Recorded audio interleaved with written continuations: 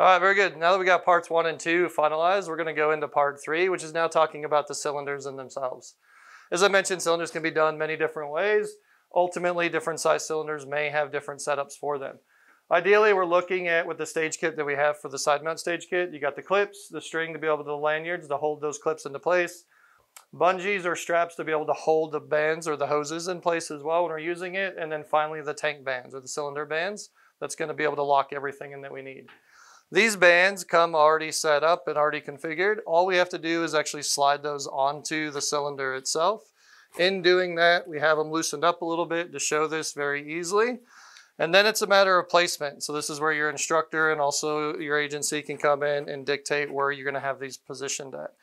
This big portion of it, when we look at the cylinder itself, valve should stay to the outside. So if this is on my side, I kind of want this to the inside so it's protected, not hit anything.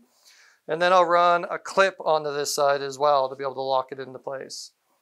Then the final piece of that is gonna be the second clip that we have for the stainless steel clip. We'll go over the top of the valve as we start positioning it where it needs to be. On this other cylinder, we have this one kind of rigged up already to where we needed it to, to show you what these components look like. This can get adjusted, this can be adjusted depending on your instructor and your agency as we start going through the components. Generally, we like to have, if the valves are facing us, a lot of us dive it that way, so the valves are protected and the first stages are protected. The cylinder then would clip to our side and clip to our side, and then everything is protected right next to us. So here we have this placement able to be free and moved if we need to adjust the cylinder for any reason.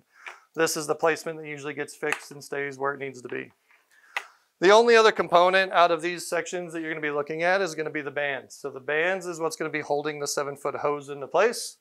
Those bands can get positioned and adjusted over the cylinders wherever you need them.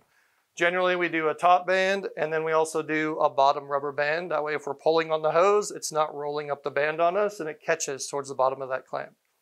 So very easy to set these together, put them together. You can run these cylinders with the valves pointed down if you want or up. In this case, they're configured with them actually pointed up.